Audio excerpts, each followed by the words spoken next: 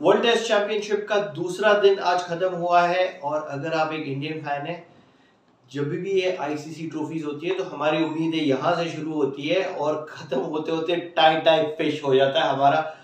आज एक और ऐसा ही दिन है जहाँ पे हमारी उम्मीद की क्रैश लैंडिंग फिर से हो रही है।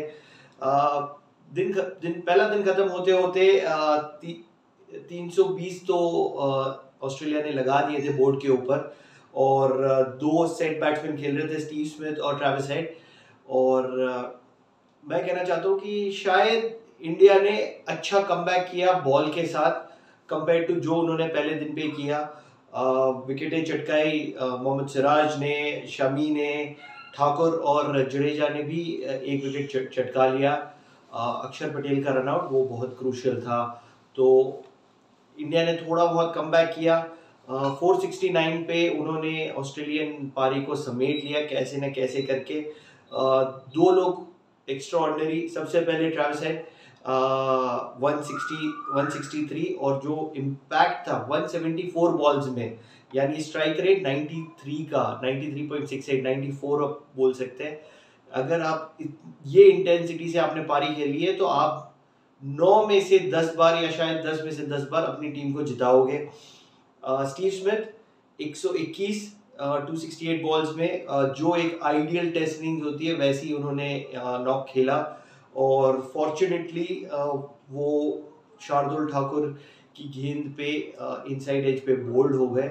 वरना फिर मुझे तो वो आउट होते हुए दिख नहीं रहे थे, इतने बढ़िया। दो और बल्लेबाज जिन्होंने सपोर्टिंग रोल खेला, एक थे डेविड वार्नर ऊपर और नीचे एलेक्स कैरी दोनों ने 40 45 40 45 स्कोर किए। मोहम्मद शामी दो विकेट सिराज के पास चार विकेट उमेश यादव सबसे निराशा निराशापूर्ण रहे हैं ये टेस्ट मैच में अभी तक. एक भी विकेट नहीं चटकाया उन्होंने. लेकिन आज एक चीज़ अलग थी कि कम से कम वो कंसिस्टेंटली एक जगह पे गेंद तो डाल रहे थे. थोड़ा सा प्रेशर भी उन्होंने क्रिएट किया. कुछ हाफ़ चांसेस भी उन्होंने क्रिएट किए थे लेकिन आ, बहुत डिफ़िकल्ट थे. शार्दुल ठाकुर ने दो विकेट ले लिए और रविंद्र जडेजा ने एक विकेट लिया. फिर आई बारी जिसके लिए हम सब वेट कर रहे थे। क्रिकेट एक बैट्समैन गेम होता है और हम हमारे इंडियन बैट्समैन को बहुत बहुत ही ज़्यादा प्यार करते हैं। क्या वो वो, प्यार डिजर्व करते हैं? मुझे नहीं पता। Rohit Sharma out of form चल रहे हैं। आईपीएल में भी इतना कुछ इम्पैक्ट उन्होंने किया नहीं। वही वही फॉर्म उन्होंने कंटिन्यू किया वर्ल्ड टेस्ट चैंपियनशिप में। पंद्रह के निजी स्कोर पे वो आउट हो गए। शुभमन गिल भी कोई इम्पैक्ट नहीं कर पाए।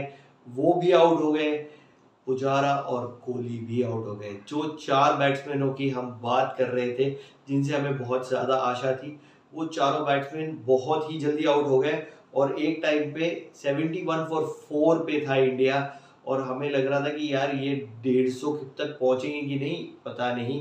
क्योंकि उसके बाद आ, ऐसे कोई एक्स्ट्रा ऑर्डनरी रिकग्नाइज बैट्समैन नहीं है। क्यों? अजिंक्य रहाने कम बैक कर रहे हैं। ठीक है प्रेशर होगा उनके ऊपर, ज़ाहिर सी बात है। रविंद्र जडेजा एक ऑलराउंडर रोल में खेल रहे हैं छः नंबर के छः नंबर पे। तो जब, जिनसे एक्सपेक्टेशन थी, जब वो ही निराश कर चुके हैं तो भाई, जदू क्या करेंगे, नहीं करेंगे, पता नहीं। लेकिन, जदू ने किया 48 51 गेंदों में। अनफॉर्चुनेटली वो ऑफ़ स्पिनर ऑफ़ स्पिनर बोलते हुए मुझे बहुत दर्द होता है। अश्विन को नहीं खिलाया इंडिया ने, लेकिन नेथन लायन की गेंद के ऊपर वो आउट हो गए। स्टीव स्मिथ ने वो कैच पकड़ा और उसके बाद अजिंक्य रहा ने एक एंड पे उन्होंने समझ लो कि टेंट डाल के बैठे हुए हैं कि भाई ये एंड मैं नहीं छोड़ूँगा। दूसरे एंड पे अभी अभी शिखर भर भरत आए वो तो अभी तो एक रिकग्नाइज बैट्समैन नहीं है। विकेट कीपर मैं बोल सकता हूँ कि एक recognise wicket keeper quality wicket keeper है। अच्छी विकेट कीपिंग भी की है उन्होंने इस टेस्ट मैच में। लेकिन एज अ बैट्समैन मुश्किल है। क्या एक्सपेक्टेशन है ये टेस्ट मैच से? अभी स्कोर है 151 for five thirty eight overs हुए हैं। मुझे लग रहा है कि अगर इंडिया 250 या 300 कैसे ना कैसे करके बहुत ही बड़ा मैं नंबर बोल रहा हूँ कंपेयर टू जो हमारी सिचुएशन है अभी, क्योंकि इसके पीछे पीछे शार्दुल ठाकुर, उमेश यादव, मोहम्मद शमी, भाई, कोई ऐसे बैट्समैन नहीं है जिनके ऊपर आप बोल सकते हो कि हाँ भाई, ये पचास कर जाएगा। लेकिन क्रिकेट है, कुछ भी हो सकता है। कैसे न कैसे अगर इंडिया 250 300 के आंकड़े के पास पहुँच गया तो गेम में अभी भी थोड़ा बहुत बना रहेगा, थोड़ा बहुत। मैं बोल रहा हूँ सिंगल डिजिट परसेंटेज पे बना रहेगा, क्योंकि वो चेज कर रहा है अभी 470 फोर फोर सिक्सटी नाइन जो ऑस्ट्रेलिया ने किया है तो पहली इनिंग में उसको तकरीबन तकरीबन 400 के आसपास तो कम से कम रहना चाहिए था। नहीं रह सकता, वो तो रियलिटी है सिचुएशन की, लेकिन अगर वो 250-300 तक भी पहुँच गया तो वो शायद सिंगल डिजिट परसेंटेज में, और उसके बाद एक सेकेंड इनिंग्स बहुत ही एक्स्ट्रा बोलिंग और बैटिंग दोनों चाहिए आपको मैच को ड्रॉ तक भी पहुँचाने के लिए। अगर आप जीते नहीं जीते, वो तो दूसरे नंबर की बात है, लेकिन ड्रॉ तक पहुँचाने के लिए भी बहुत एक्स्ट्रा ऑर्डनरी एफर्ट लगेगी क्या चाहिए अभी? सबसे पहले कल पूरा दिन इंडिया को बैटिंग करनी ही है। अगर पूरा दिन बैटिंग करके अगर वो पूरे दिन में कल अगर 200 रन के आसपास बना भी पाए, बहुत ही पेशेंट बैटिंग कर सकते हैं। अगर 200 रन के आसपास बना पाए तो सबसे पहले वो एक दिन वेस्ट करेंगे। कल तीसरा दिन है और अगर पूरा दिन तीसरा उन्होंने बैटिंग की और तकरीबन साढ़े तीन सौ तक अगर स्कोर पहुँचा सके पूरी पूछ को हिला हिला के कैसे भी करके तो डेफिसिट रहेगा तकरीबन सौ सवा सौ रन का। सवा सौ रन इतने ज़्यादा नहीं होते हैं। आ, इंडिया के वो फोर्थ इनिंग्स में बैटिंग करनी है। अगर वो फॉलो ऑन को अवॉइड कर पाए मुझे नहीं लग रहा कि फॉलो ऑन को अवॉइड कर पाएँगे। लेकिन अगर कर पाए तो ये विकेट फोर्थ इनिंग में इतनी डिफ़िकल्ट नहीं होगी। डिफ़िकल्ट तो पहले दिन से ही है, लेकिन इतनी डिफ़िकल्ट नहीं होगी जैसे एशियन कंडीशंस में होता है कि बहुत एक्स्ट्रॉर्डनरी टर्न हो रहा है अनइवन अनइवन बहुत से इसमें रहा ही है। लेकिन अगर बैट्समैन अपने आप को इम्प्लीमेंट कर पाए पेशेंटली खेल पाए तो इसमें रन करना इम्पॉसिबल नहीं रहेगा। तो क्या इंडिया उम्मीदों पे खरा उतरेगा, नहीं उतरेगा? तीसरे दिन के दूर नहीं है, ज़्यादा 24 घंटे में हम फिर मिलते हैं, समझते हैं क्या हुआ, नहीं हुआ।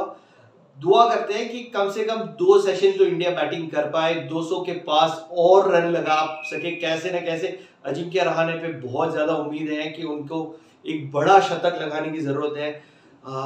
शिखर शिखर भरत पे भी बहुत उम्मीद है कि उनको रुकना है अजिंक्य रहाने के साथ। सबसे पहले सुबह का स्पेल निकालना है और उसके बाद अप्लाई करना है और खड़ा रहना है एक एंड पे अजिंक्य रहाने के साथ और बड़ी पार्टनरशिप की ज़रूरत है। डेढ़ सौ, दो सौ रन की कर सकते हैं, नहीं कर सकते, ये तो वक्त ही बताएगा। लेकिन आप मेरे साथ जुड़े रहिए। अगर आपने लाइक शेयर सब्सक्राइब नहीं किया तो भाई प्लीज़ कर दीजिए यार, इतनी सी, इतनी देरी क्यों कर रहे हो? और भाई बेल की घंटी तो आप सब पसंद करें वीडियो तो बेल की घंटी तो बनती है भाई। आपको टाइमली नोटिफिकेशन आ जाएगा मेरे वीडियोस के बारे में। आपको पता है, कोई इधर उधर की बात नहीं on the spot on the topic इसी के साथ मेरा नाम है प्रणव मेहता, आप सबका बहुत बहुत शुक्रिया।